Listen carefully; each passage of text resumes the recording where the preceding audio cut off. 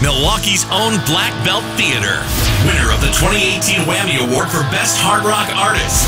They want an opening slot for the Foo Fighters on October 17th at the Fiserv Forum. For four and a half minutes? Uh, yeah. Look, they haven't actually been invited to play. They've just decided that they'd like to, and they're trying to convince the Foo Fighters to let them. They're even willing to waive all performance fees uh, as long as their flow rider is fulfilled. One case of light beer and four towels.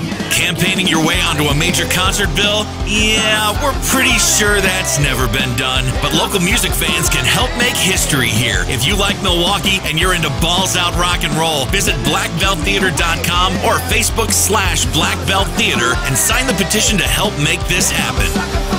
October 17th at the Fiserv Forum, Foo Fighters. And four and a half minutes of Black Belt Theatre. Why the hell not? Visit Black Belt Theatre on Facebook for more info.